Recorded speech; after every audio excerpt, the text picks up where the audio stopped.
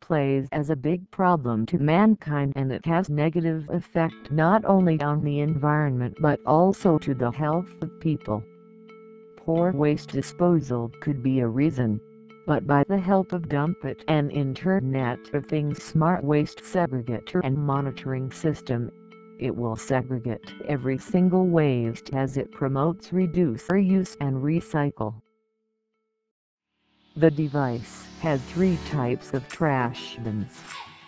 Biodegradable, non-biodegradable, and recyclable.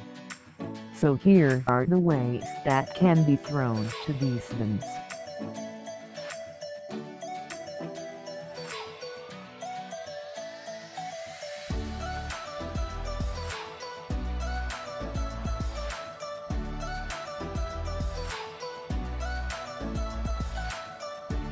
Dumpit has a website that teaches every people about proper waste disposal to make it informative and it also shows the percentage of each bin to know whether the bin is full.